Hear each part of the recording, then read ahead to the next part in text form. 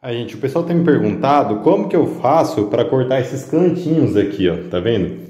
Esse cantinho, que para quem não sabe, é, é, muito difícil de cortar, tá? Aqui é um, é um lixo, ó, que eu tô fazendo, tá vendo? Aí para cortar quando é em L, porque a máquina, ela não vai até no canto, tanto a, a lixadeira como a maquita, tá? A serra mármore, ela não vai até no canto. Então, o que que eu faço? Eu viro a peça ao contrário e corto aqui, ó, tá vendo? E vou desbastando, na verdade. Eu não vou chegar nem, nem cortar no mesmo ângulo, ó. Vou mostrar aqui pra vocês.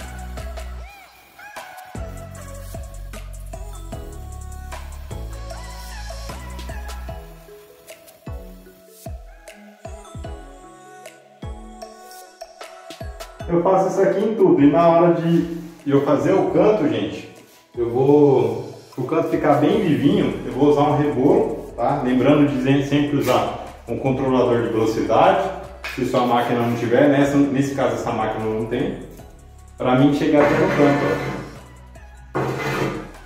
Isso aqui é mais fácil do que essa lixa de amontada.